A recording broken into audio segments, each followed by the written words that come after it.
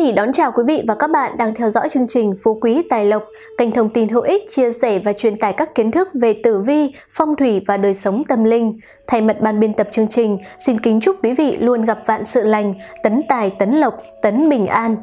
Quý vị thân mến, phong thủy nhà ở là một trong các yếu tố tạo nên sự hưng thịnh đối với gia chủ cũng như cuộc sống hạnh phúc của các thành viên trong gia đình.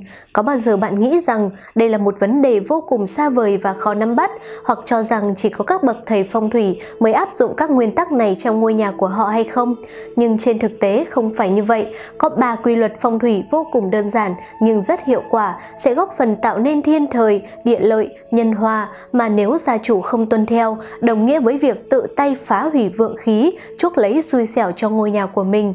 Lúc này thì bạn đừng hỏi tại sao bản thân cứ gặp đại hạn triền miên, tai họa ập tới và bệnh tật bùa vây. Xin mời các bạn cùng theo dõi để không phạm phải các sai lầm đáng tiếc này nhé. Bạn có biết rằng phong thủy có tác động trực tiếp tới sức khỏe, tài lộc và tình duyên của mỗi người. Chính vì vậy, nếu biết vận dụng tốt thuyết phong thủy trong phong thủy nhà ở sẽ là yếu tố quan trọng giúp cho bạn và cả gia đình thay đổi vận mệnh. Ngược lại, nếu không nắm bắt được các nguyên tắc cơ bản này, gia đình sẽ gặp nhiều khó khăn và trắc trở trong mọi việc. Vạn sự không được suôn sẻ như mong muốn, thậm chí còn tán ra bại sản. Muốn sinh lộc phát tài, sức khỏe dồi dào, bạn hãy lập tức lưu ý ngay ba điều trong phong thủy nhà ở sau đây. Thứ nhất, nguyên tắc phong thủy đối với phòng khách. Một, vị trí phòng khách giúp thúc đẩy tài vận. Vì sao phong thủy phòng khách lại được đặt lên vị trí đầu tiên? Lý do rất đơn giản, thưa quý vị, bởi phòng khách là nơi tụ khí sinh tài, là cửa ngõ đón nhận nguồn năng lượng tốt, xấu và cũng là nơi cân bằng từ trường giữa các không gian khác nhau trong căn nhà của bạn một vị khách lạ bước vào căn nhà sẽ không tiến thẳng đến phòng ngủ hay phòng bếp mà phải tham quan phòng khách đầu tiên đúng không nào? Vậy nên vị trí phòng khách là điều mà gia chủ cần hết sức lưu tâm. Quý vị nên đặt vị trí phòng khách theo phong thủy ở trung tâm ngôi nhà, đại diện cho trái tim và sức sống của ngôi nhà. Ngồi bên trong có thể chú ý được khách và người nhà thể hiện được tính tiện nghi trong quá trình sử dụng. Trái lại, nếu vị trí phòng khách trách nghiêng khiến con người cảm thấy cuộc sống trong nhà không theo quy tắc, không có trật tự, đặc biệt cửa chính ra vào của không gian nhà ở luôn là không gian được thiết kế rộng mở nhất, có ý nghĩa như đón tài rộng, sự thân thiện, hoan hỉ của chủ nhà đối với khách đến ngôi nhà. Chính vì thế mà phòng khách nên được đặt ở gần với cửa ra vào nhất. Về mặt phong thủy, đây cũng là vị trí thích hợp để lưu thông và tích tụ khí nhất trong căn nhà của bạn. Khi bước vào cửa chính là không gian rộng thoáng của phòng khách, trang trọng và lịch sự, có ý nghĩa giống như sự đón tiếp chân thành, nồng hậu của chủ nhà đối với khách. Ngoài ra, nếu đặt vị trí phòng khách theo phong thủy ở ngay cửa ra vào sẽ rất phù hợp đối với thói quen sử dụng của người Việt từ nghỉ ngơi tiếp khách, sau đó bên trong là tiếp nối không gian ăn uống ngủ nghỉ và khu vực vệ sinh cũng là tuần tự phát triển khá hợp lý. Nếu ngược lại, vị trí của phòng khách đặt ở trong cùng hoặc phía sau cùng của ngôi nhà sẽ gây đến cảm giác bị đẩy lùi lại bố cục và sự cân xứng của ngôi nhà với những không gian bên ngoài tạo sự lệch lạc không cân xứng. Theo phong thủy, ý nghĩa của điều này thể hiện sự đẩy lùi của vận tài không được đánh giá cao về mặt công năng và phong thủy phòng khách. Điều quan trọng thứ hai ngay sau khi vị trí của phòng khách chính là ánh sáng và màu sắc của căn phòng này Xin mời quý vị tiếp tục cùng tìm hiểu cùng phú quý tài lộc. 2. Ánh sáng và màu sắc của phòng khách Các bạn hãy lưu ý, bên cạnh việc lựa chọn vị trí phù hợp cho phòng khách, thì yếu tố ánh sáng và màu sắc cho không gian này cũng đặc biệt quan trọng đấy. Nên chọn gam màu trang nhã và sáng sủa để làm tông màu chủ đạo Điều này giúp tạo sự thoáng đãng cho không gian phòng khách hiện đại. Nhưng để không nhàm chán, bạn nên tạo điểm nhấn bằng các màu sắc đậm nhạt linh động. Một vài người cá tính lại thích sự phá cách bằng sự kết hợp các gam màu tương phản. Ví dụ, với nền tường và trần nhà trắng, bạn có thể phối cùng màu nâu gỗ hoặc nhấn nhá bằng những chiếc gối sofa gam màu nổi, hồng, cam, đỏ cùng chậu hoa, vài vật trang trí cùng tông màu. Nền xanh da trời chủ đạo phối cùng các vật dụng nội thất màu vàng và cam nhạt. Lời khuyên là bạn chỉ nên phối khoảng 3 màu trong một không gian thôi nhé. Quá nhiều màu sắc sặc sỡ sẽ khiến phòng khách trở nên rối, không theo một gu nào cả. Ngoài ra, thay vì sơn tường, bạn cũng có thể sử dụng giấy dán tường với các hình ảnh thiên nhiên 3D tạo nên chiều sâu. Việc này giúp tạo cảm giác phòng khách rộng rãi hơn. Ánh sáng và lưu thông không khí là yếu tố quan trọng trong việc thu hút vận khí tốt trong phong thủy. Vì vậy, phòng khách cần phải được đặt ở vị trí sao cho thu hút được nhiều ánh sáng tự nhiên và không khí nhất để có thể mang lại cuộc sống yên bình nhất cho gia đình. Những vị trí khuất trong phòng khách, gia chủ cần bố trí đèn chiếu sáng thích hợp để mang lại không gian phong thủy phòng khách hoàn hảo nhất.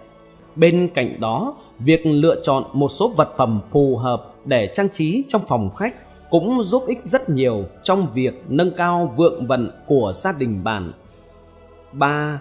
Lựa chọn một số đồ vật trang trí trong phòng khách. Trang trí phòng khách trong tất cả các nguyên tắc trên thì có lẽ đây là điều dễ thực hiện nhất đối với gia chủ. Để có thể lựa chọn được đồ vật trang trí phòng khách hợp phong thủy, chúng ta cần lưu ý tới màu sắc và chức năng của từng đồ vật. Cần phải chọn màu sắc đồ vật trang trí sao cho hài hòa, hợp với mệnh của gia chủ.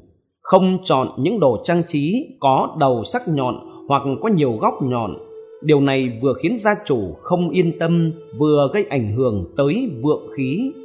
Để tăng vượng khí, tài lộc cho phong thủy phòng khách, gia chủ nên lựa chọn những vật trang trí có ý nghĩa chiêu tài lộc như ngọc như ý, tỳ hưu, cóc ba chân, thần tài. Những đồ trang trí này vừa tăng cường tài lộc, vừa giúp hạn chế những điều không may cho gia chủ. Gia chủ cũng nên đặt cây xanh trong phòng khách để tăng cường sinh khí và vượng khí. Cây xanh nên được đặt ở góc đông nam phòng khách để phát huy tác dụng cao nhất. Gia chủ nên sử dụng các loại cây sinh tài như lưỡi hồ phát tài, tránh dùng các loại cây có gai nhọn sẽ gây nhiều điều không tốt.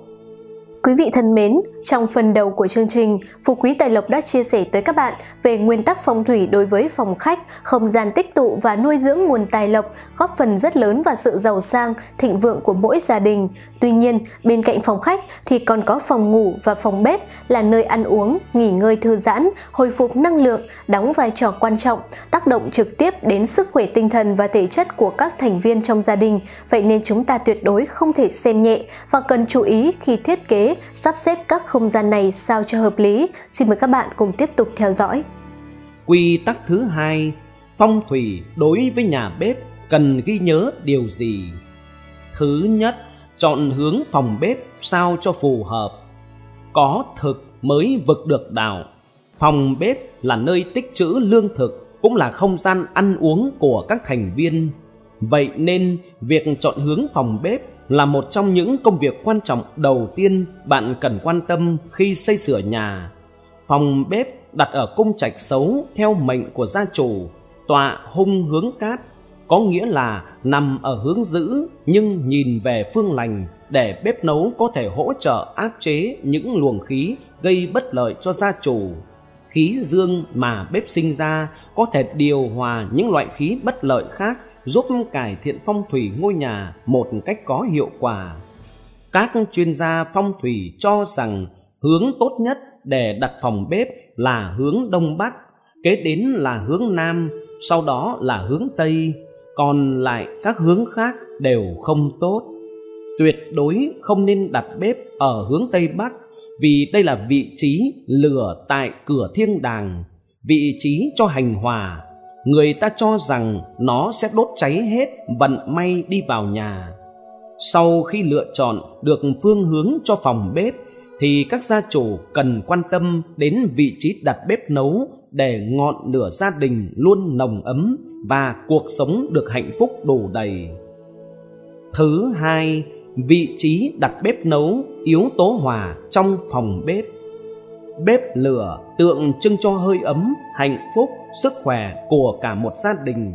Không nên đặt bếp nấu ở nơi không có chỗ dựa, không để bếp nấu ở giữa nhà bếp hay trước cửa sổ luôn mở. Nhiều quan niệm cho rằng không đặt bếp đun dưới xà ngang nhà sẽ đè lên người ông bà táo dẫn đến ngăn chặn đè nén sự phát triển và những tài vận may mắn đến với cả gia đình khi đặt bếp nấu phải giữ nguyên tắc tọa hung hướng cát, nghĩa là lò bếp nằm ở cung trạch xấu so với mệnh gia chủ, trông theo hướng cung trạch tốt. Chẳng hạn, người mệnh đông tứ, người thuộc ngũ hành thủy, mộc, hỏa, thì hướng bếp là hướng bắc, đông, nam và đông nam. Người mệnh tây tứ, người thuộc ngũ hành kim thổ thì hướng bếp là hướng đông bắc, tây bắc, tây nam. Điều này sẽ giúp mang lại may mắn cho gia đình và hạn chế phần nào phong thủy xấu của ngôi nhà. Không chỉ có vị trí bếp nấu, mà vị trí đặt bàn ăn trong nhà cũng là điều mà các gia chủ cần hết sức lưu tâm.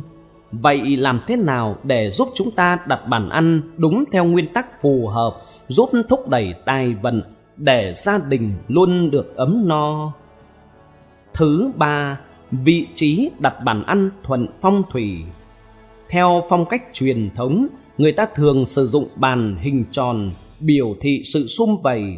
Ngoài ra, bàn có thể là hình vuông, hình chữ nhật, hình đa giác. Nhưng tốt nhất là bạn nên tránh bàn ăn có nhiều góc cạnh hoặc hình bình hành bởi chúng sẽ tạo ra nhiều sự đối đầu và tranh cãi không đáng có.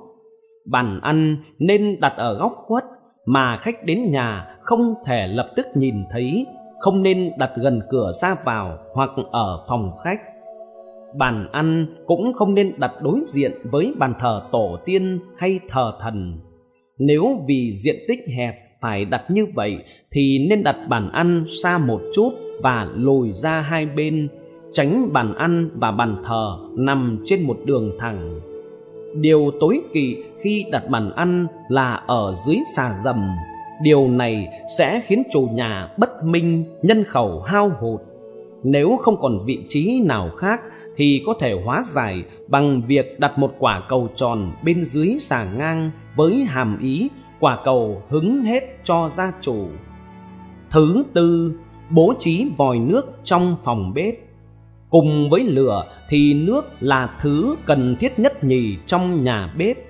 Nhưng quan niệm thủy khắc hòa sẽ làm cho nước lửa trong nhà bếp luôn xung khắc. Vậy làm sao để thủy trong nhà bếp được cân bằng và hợp lý? Nên lựa chọn vị trí vòi nước là điều hết sức quan trọng và cần thiết cho tài lộc nhà bạn. Các bạn hãy nhớ không nên đặt vòi nước quá gần bếp đun sẽ gây xung khắc. Quan niệm dân gian cho rằng nếu để nước gần bếp đun sẽ nhấn chìm ông bà táo.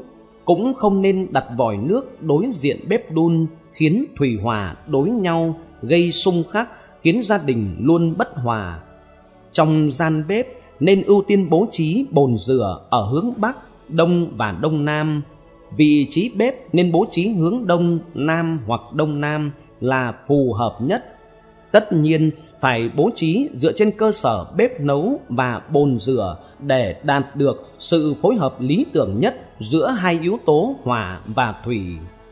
Ăn được, ngủ được là tiên, không ăn không ngủ mất tiền thêm lo thiết kế được phòng bếp phù hợp và thưởng thức các bữa ăn ngon mối quan tâm tiếp theo của gia chủ chính là phong thủy đối với phòng ngủ.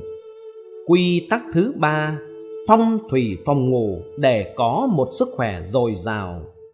Phong thủy phòng ngủ có ý nghĩa rất quan trọng đối với gia chủ.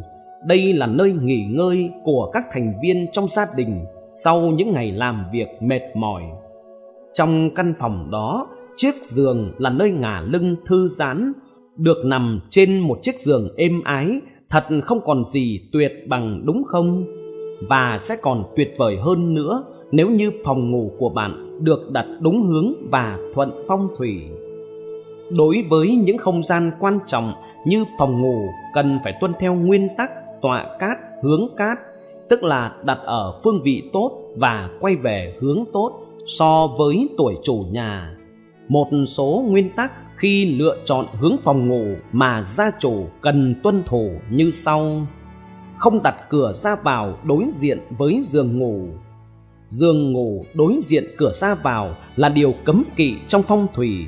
Một số quan niệm mê tín dị đoan nói rằng đặt giường trước cửa chính sẽ giống với hướng để quan tài sẽ bị ma bắt đi. Tuy nhiên, quan niệm giường ngủ không được để hướng ngay cửa là do sự bất tiện cũng như tính chất sử dụng của nó. Giường ngủ là nơi riêng tư nhất của căn phòng nên cần đặt ở chỗ khuất, không nên đặt ở trước cửa, nơi mà người khác đi qua cũng nhìn thấy được. Mặt khác, giường là vật to lớn để trước cửa sẽ gây ra cản trở khi đi lại và khiến cho căn phòng trở nên bất tiện. Ngoài ra, người ta cũng kiêng việc đặt giường ngủ thẳng hướng cửa sổ. Nếu căn phòng của bạn nhỏ, bạn sử dụng rèm để che chắn. Điều này giúp cản ánh nắng cũng như ánh sáng chiếu vào giường ngủ, giúp bạn có được một giấc ngủ thật ngon và êm ái. Không đặt gương đối diện hoặc chiếu thẳng vào giường ngủ. Gương đặt chiếu thẳng vào giường ngủ là điều mọi người đều tránh nhiều người không biết và để gương theo hướng này, buổi tối khi tỉnh giấc đi vệ sinh hoặc có việc gì, nhìn thấy người trong gương sẽ cảm thấy giật mình và sợ hãi. Từ đó gây ra mộng mị trong giấc ngủ, giấc ngủ không ngon và gây ảnh hưởng xấu tới sức khỏe của bạn. Đầu giường không nên dựa vào tường vệ sinh. Nhà vệ sinh là nơi nhiều vi khuẩn và mùi khó chịu nhất trong bất kỳ căn nhà nào. Chính vì vậy, không ai đặt giường gần cửa nhà vệ sinh cả.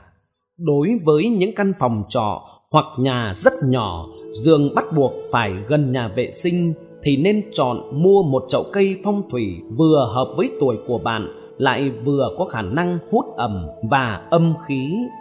Có một số người đặt đầu giường hướng vào tường nhà vệ sinh, điều này rất hại cho sức khỏe của bạn trong nhà, thường có nhiều người và giờ giấc đi vệ sinh chắc chắn không giống nhau. Khi bạn đang ngủ hoặc nằm nghỉ ngơi mà nghe thấy tiếng động ngay trên đầu của mình sẽ vô cùng khó chịu. Từ đó ảnh hưởng đến giấc ngủ và sức khỏe của bạn rất nhiều. Quý vị thân mến, việc áp dụng các nguyên tắc phong thủy phù hợp không chỉ góp phần nâng cao vượng khí trong ngôi nhà của bạn mà còn giúp đời sống gia đình được hạnh phúc, bình an, vạn sự hành thông, phát tài phát lộc. Vậy nên quý vị hãy đặc biệt lưu ý và chia sẻ với mọi người xung quanh để áp dụng càng sớm càng tốt nhé. Rất cảm ơn quý vị và các bạn đã quan tâm theo dõi chương trình và đừng quên đăng ký kênh youtube của Phú Quý Tài Lộc, nhấp vào biểu tượng chuông để nhận thông báo và đón xem chương trình mỗi ngày nhé. Còn bây giờ xin chào và hẹn gặp lại!